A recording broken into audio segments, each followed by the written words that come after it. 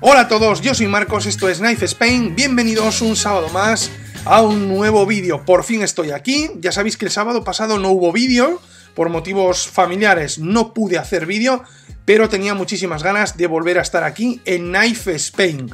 Dejamos apartados por el momento el tema cuchillos, que ya sabéis que estoy loco con los cuchillos, ¿vale? Y volvemos a retomar el mundo de las navajas. Y hoy os traigo una marca que yo no conocía, que me ha llamado muchísimo la atención. Lo primero, porque mirar de dónde viene. Viene de Tiers. Eh, esto, eh, Tiers es una ciudad yo creo que la ciudad por excelencia de Francia, la ciudad cuchillera de Francia, y en esa ciudad hay varias marcas, hay varias casas, hay varios artesanos que se dedican a hacer navajas y cuchillos, y hoy os vengo a traer una de esas casas, llamada 1515, que yo no la conocía, y la verdad es que me ha sorprendido de la calidad del trabajo. Ojo, muy conocida esta marca dentro del mundo de la cuchillería y muy buscada por los coleccionistas porque además de todo eso es una marca con mucho renombre y es una marca cara. Y ahora veréis por qué, porque la calidad de, sus materiales, la verdad que sorprende a todo el mundo. Pero antes, como siempre, de irnos con el vídeo, tenemos que irnos con la intro.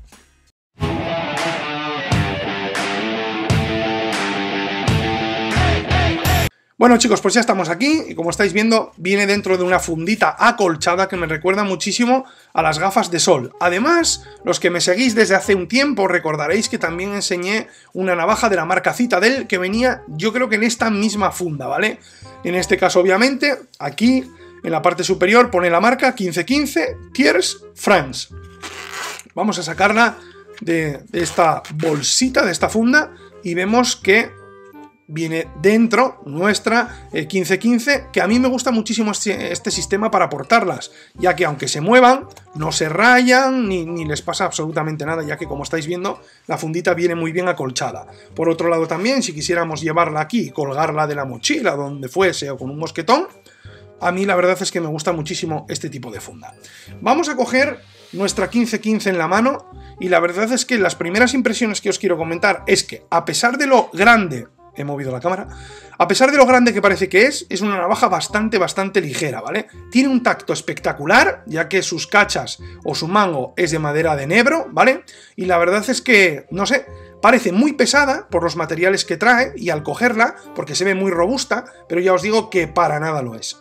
Vamos a fijarnos en su sistema de apertura, que es un sistema de apertura a dos manos, ¿vale? Y vamos a abrir la hoja, que os diría, chicos, que yo creo que trae algún tipo de rodamiento, porque como veis abre muy muy suave, ¿vale? Y la verdad es que este tipo de navajas que traen rodamientos, no lo sé, ¿eh? no os lo puedo asegurar. He estado mirando, creo que sí, sí, creo que sí, pero no os lo puedo asegurar. Pero ya os digo que su apertura es muy muy muy suave. Si nos fijamos en su hoja, chicos, como estáis viendo es satinada, ¡ay! de filo recto y de tipo estándar o, tipo barco, por así decirlo, ¿vale? Porque no llega a acabar su punta. Si acabase un poquito la punta, sería de tipo drop point, pero en este caso no lo es. Como estáis viendo, en esta parte pone la marca 1515 y viene con un color satinado. Si nos vamos a la parte de atrás, algo que me llamó muchísimo la atención es que como estáis viendo pone Boker y pone Exclusive 029 de 100 y aquí pone Made in France. Entonces decimos, ¿pero quién ha fabricado? 1515, Boker o quién ha, fabricado? Bueno, pues como en la gran mayoría o en todos los vídeos que hago, lo que intento es conseguir información de primera mano. Y he hablado con la gente de 1515 en Francia. Y me han dicho que esta navaja fue un encargo que la empresa alemana Boker les hizo hace unos poquitos de años, ¿vale? Donde les encargó esta navaja en concreto, esta, y les encargaron, como estáis viendo, 100 piezas. Y esta es la 0.29 de 100. Así que igual que esta navaja, solamente hay 100 eh, piezas, ¿vale? Que encargó Boker a 1515. Por otro lado, tenemos que hablar obviamente del tipo de acero. En este caso es Sandvik 12C27. Es un acero que me gusta bastante, ¿vale? Se trata de un acero muy polivalente, con una composición muy equilibrada, que le otorga muy buenas características, yo creo que prácticamente en todos los ámbitos, tanto en afilado, dureza, resistencia al desgaste y resistencia a la oxidación. Así que es un, es un acero que podemos considerar bueno y vuelvo a repetir, muy, muy polivalente. Como estáis viendo, el tipo de seguro es Liner Lock y para desbloquearlo ya sabéis que solamente tenemos que mover esta pletina, desplazarla y de esta manera, de esta manera cerraríamos nuestra 1515. Vamos a algo que me ha vuelto loco de esta navaja y es obviamente eh, su mango, ¿vale? Fabricado en eh, madera de enebro. Vale, recuerdo que no os dije algo muy importante.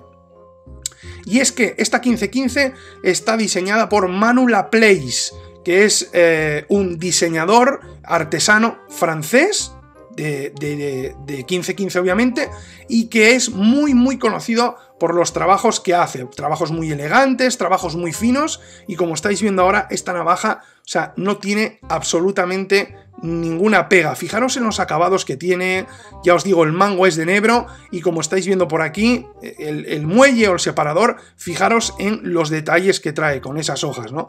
Es increíblemente espectacular esta navaja.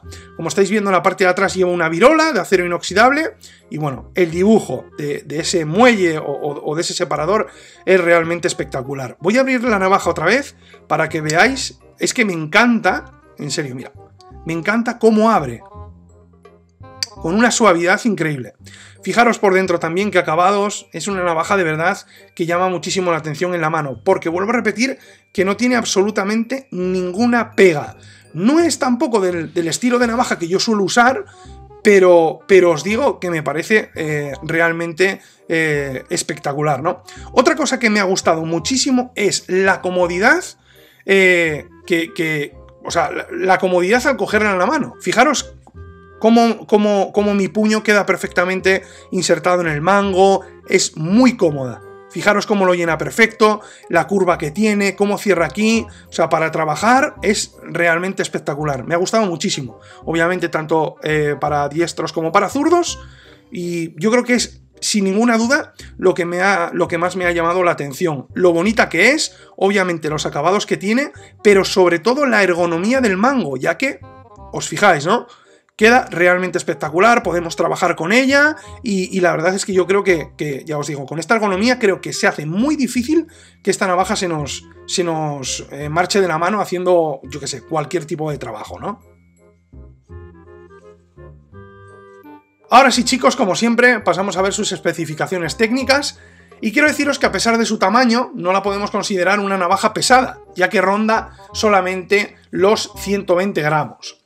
Su longitud total es de 200 milímetros con una longitud de hoja de 85 y su longitud cerrada es de 117 milímetros con un grosor de hoja de 3 milímetros. Pues nada más chicos, hasta aquí el vídeo de hoy. Recordad que si queréis haceros con esta 1515 podéis hacerlo a través de la web del colaborador del canal, Cuchillería Gómez de Pamplona. Vuelvo a repetiros que no conocía para nada esta marca, pero que me ha llamado muchísimo la atención. He estado investigando sobre ella, he estado mirando en la web del fabricante y me ha sorprendido porque os digo, para mí yo creo que son navajas prácticamente de lujo. Así que nada más chicos, ya sabéis que nos vemos en el próximo vídeo, donde si no aquí en Knife Spain.